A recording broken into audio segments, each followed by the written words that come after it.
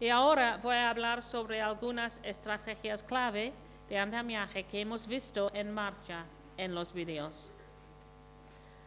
Estas estrategias son importantes en los cuadrantes A y B y C, aunque se adaptan según el cuadrante y la complejidad de la tarea académica. Voy a darnos unos ejemplos de cómo podemos aprovechar el conocimiento y los intereses de los estudiantes.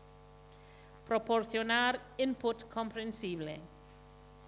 Proporcionar modelos y prácticas, y prácticas guiadas.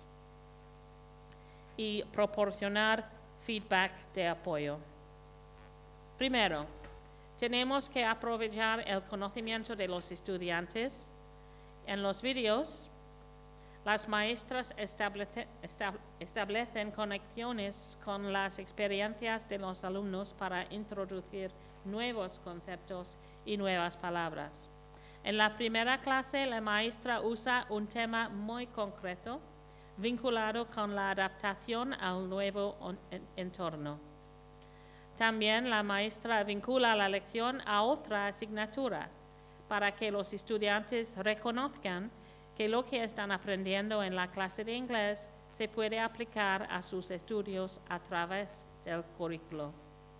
Y en la segunda clase, el tema de tener un trabajo a tiempo parcial es de gran interés para los adolescentes. Es normal en Canadá que los jóvenes de secundaria, secundaria trabajen, al menos al fin de semana. Y la mayoría de los recién llegados quieren saber cómo buscar un trabajo.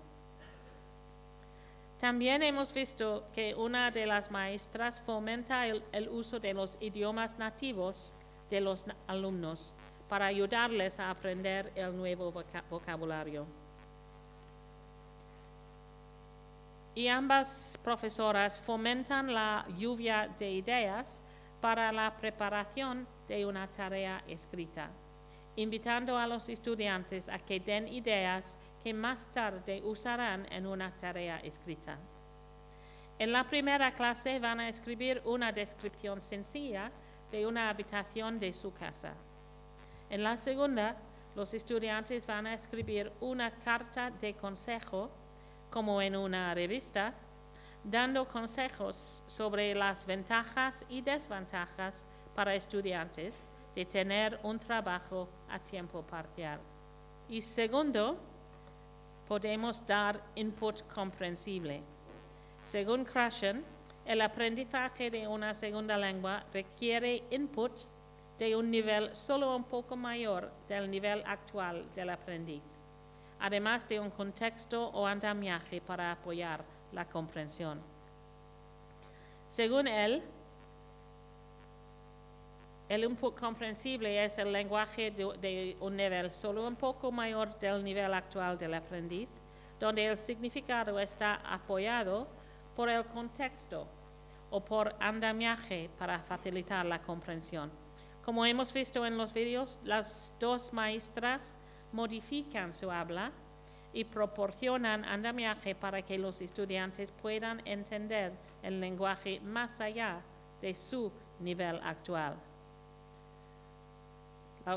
Las profesoras hablan con claridad, pronunciando cada palabra con gran, cuidado, repitiendo las palabras clave y escribiéndoles en la pizarra a la vez. Siempre es importante que los estudiantes escuchen y vean las nuevas palabras y frases al mismo tiempo. Las maestras gesticulan y usan movimientos corporales para aumentar la comprensión y para poner énfasis. Por ejemplo, la primera maestra se señala a sí mismo diciendo en mi dormitorio. Y la misma maestra evita la escritura en cursiva. Yo creo que sería mejor si la segunda maestra lo hiciera también. Tenemos que tener en cuenta que muchos de los aprendices no tienen gran, gran familiaridad con el alfabeto romano, o al menos los inmigrantes. Y la escritura cursiva es un des- desafío innecesario. En, algu- en algunas lenguas no existe esta forma de escritura. Es probable que algunos de los estudiantes nunca escriban en cursiva y esto no es un problema. Van a hacer la mayoría de sus deberes usando el ordenador, como nosotros. Las maestras usan un vocabulario cotidiano para introducir palabras más académicas. Por ejemplo, la segunda maestra usa la palabra tired, cansado, para introducir una palabra menos común, exhausted, agotado o exhausto. Cuando los aprendices alcancen un nivel más avanzado, aprenderán la palabra fatigued, fatigado también, además de expresiones coloquiales como hecho polvo.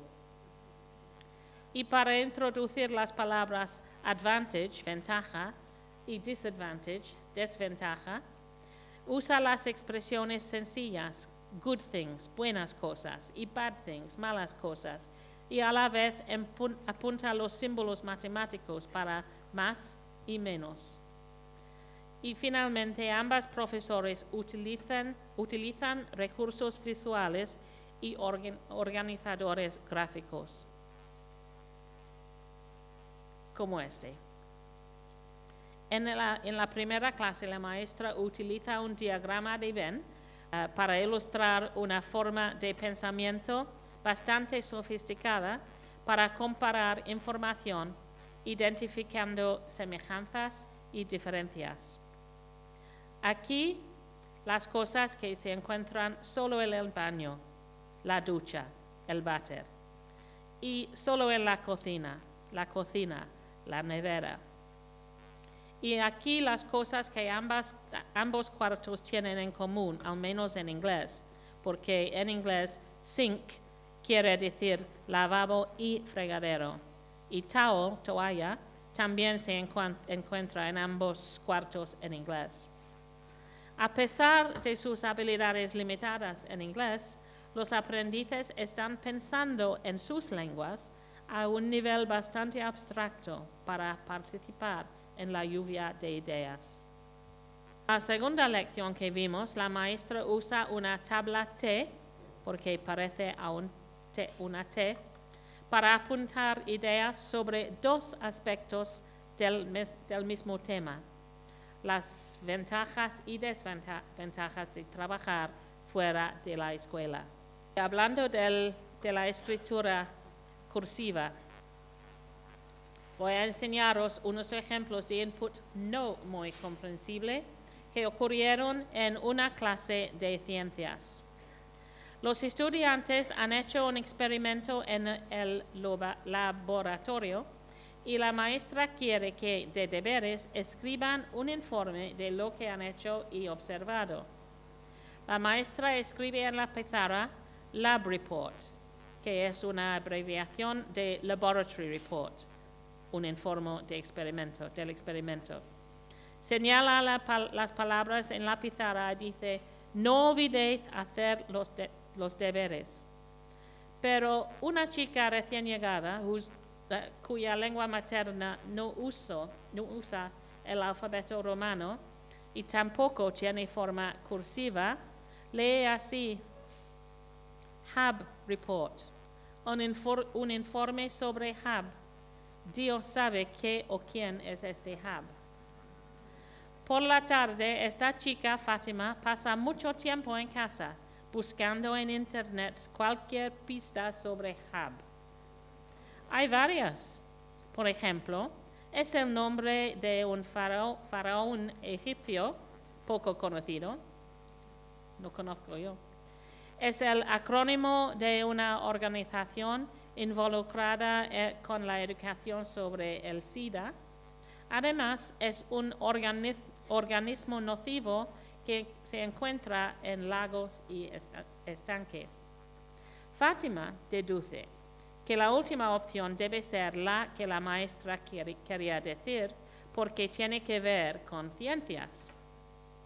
Y ella pasa unas horas intentando comprender lo que hay en Internet sobre este organismo traduciendo muy despa- despacio, palabra por palabra, porque el nivel lingüístico es muy elevado y técnico, y escribiendo un resumen. Pobre chica. Al día siguiente, la maestra no puede comprender lo que ha pasado. Cree, cree que Fátima debe tener problemas cognitivos y que no puede tener éxito en la clase de ciencias. Pero seguro que vosotros sabéis cuál era el problema. La maestra había escrito en forma cursiva usando una abreviación e incluso no pronunció lo que había escrito. Hubiera sido mucho mejor si ella hubiera escrito en forma imprenta, dando la forma completa de las palabras y diciéndolas en voz alta a la vez. También, sabiendo que esta chica es una recién llegada, que todavía no conoce inglés muy bien, hubiera sido una buena idea tomar unos pocos segundos al final de la, de la lección para hablar con la chica y confirmar que ella había entendido lo que tenía que hacer. Por ejemplo, la maestra podría haber dicho simplemente, Fátima, dime qué vas a hacer de deberes. Y el problema podría haberse resuelto enseguida. Este próximo problema es el opuesto al ante- anterior. La maestra solo habla y no escribe las instrucciones. La profesora dice a la clase, pero no escribe en la pizarra, leer la página 4 a la página de la página 4 a la página 9. Pero Fátima escuchó página 49, porque en inglés suenan muy parecidos. Al día siguiente, Fátima está metida en un lío por no haber hecho sus deberes. La profesora dice, ¿no has hecho tus deberes anoche? Tenías que leer, de la página 4 a la 9. Y la chica responde, sí, yo leí la página 49, pero no la entendí. Como ves, es mejor que apuntemos en la pizarra y leamos en voz alta todas las instrucciones. Y no me extraña que los números causen dificultades. A mí, por ejemplo, me cuesta mucho oír la diferencia entre 60 y 70 o 2 y 12. Una vez llegué a una cita con dos horas de retraso porque habían dicho 12 y media, hablando a toda máquina, 12 y media, y yo oí dos y media. Qué vergüenza. Pobre Fátima, aquí hay otro ejemplo de una situación muy confusa para ella en la clase de matemáticas. El profesor la invita a mostrar una solución en la pizarra. Para animarla, le dice, Come on, Fátima, venga, Fátima. Y continúa diciendo, Take a stab at it. Es una expresión muy idiomática, muy coloquial. Se puede traducir literalmente como clávalo. Y así lo comprende Fátima.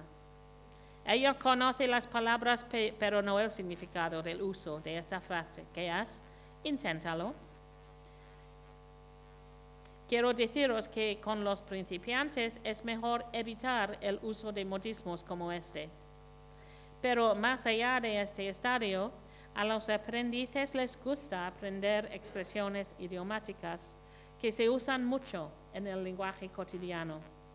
En este caso, el profesor podría haber añadido una reformulación o explicación. Por ejemplo, come on, try it. Inténtalo.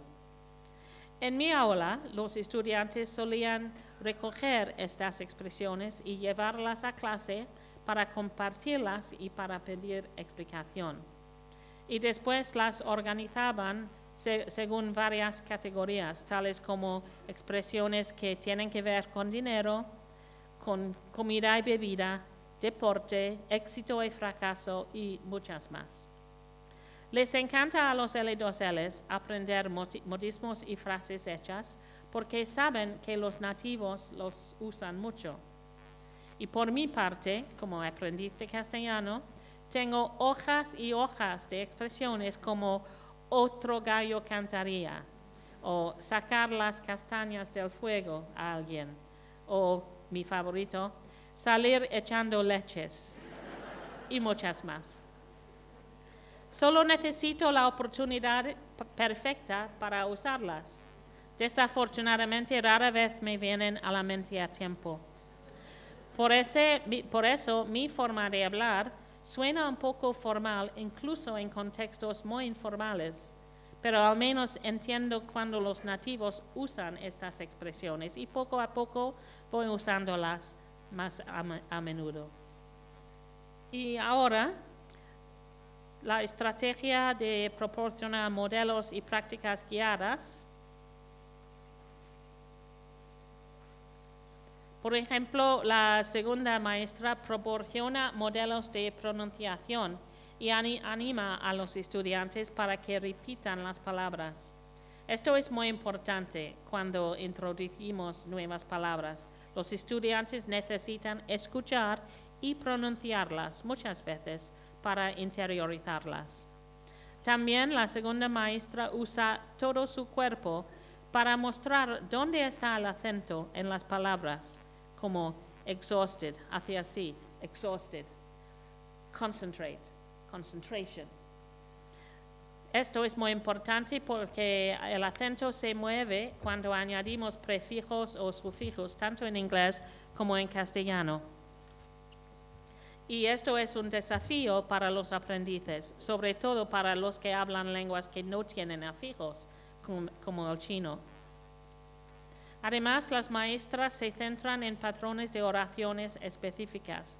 Por ejemplo, la primera maestra se, se centra en frases de ubicación usando preposiciones como in, al lado de, etc. Demuestran varias formas de escritura descripción, carta de consejo. Por e-, ejemplo, la primera maestra escribe delante de los estudiantes una descripción sencilla pensando en voz alta. Y la segunda demuestra el uso de, del organizador, organizador gráfico para organizar las ideas. Y voy saltando un poco llegamos al feedback de, apoyo. Hemos visto que las maestras en los vídeos se centran primero en la comunicación, en lo que los estudiantes están intentando decir. También responden de vez en cuando con una reformulación, sin corrección directa. Por ejemplo, cuando el, el chico dice a lot of homeworks, la maestra no señala el error, solo repite con la forma correcta. Sí, a lot of homework. Aunque muchos profesores y muchos estudiantes también creen que es importante corregir cada error para que el estudiante no adquiera malos hábitos, diferentes estudios han demostrado que la corrección directa y continua no es eficaz. El hecho es que demasiada corrección crea ansiedad sin mejorar la producción real.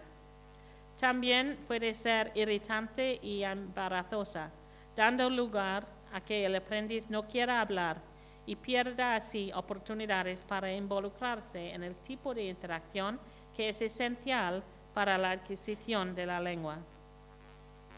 Demasiada corrección puede ser muy poco útil porque el aprendiz no puede centrarse en tantos aspectos de la lengua a la vez.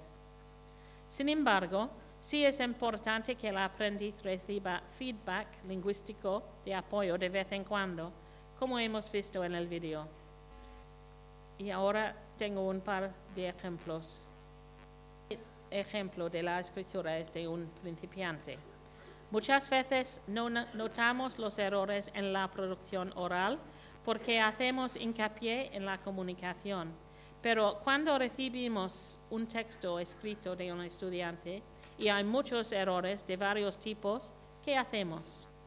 Aquí hay una pequeña historia escrita por un estudiante que todavía no controla muchas formas gramaticales. In April, my sister get married. We have big party in my uncle house. It was more than 100 people come there. My sister named Deepa and her new husband named Harry. Harry have two sister, 14 and 16. I like Harry's sister. Harry make good joke. I like him too. Harry family in Hamilton, so my sister leave home to live in Hamilton. I miss my sister, but she call me every day. Last week I go my sister house in Hamilton. I go on bus. Hay muchos errores. ¿Qué hace el profesor? Oh no. Como ves aquí, la re- reacción de muchos profesores es coger el boli rojo y corregir cada uno de los errores. Parece que la página sangra. Además, este ataque de corrección le lleva mucho tiempo al profesor y no es eficaz para ayudar al estudiante. El estudiante no puede prestar atención a tantas cosas a la vez y además se siente desmoralizado.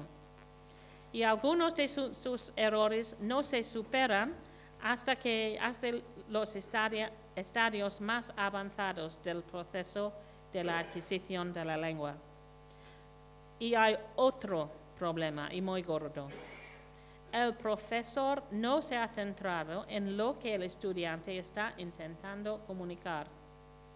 El hecho es que esta es una historia bastante bien construida en cuanto al contenido y la organización de las ideas.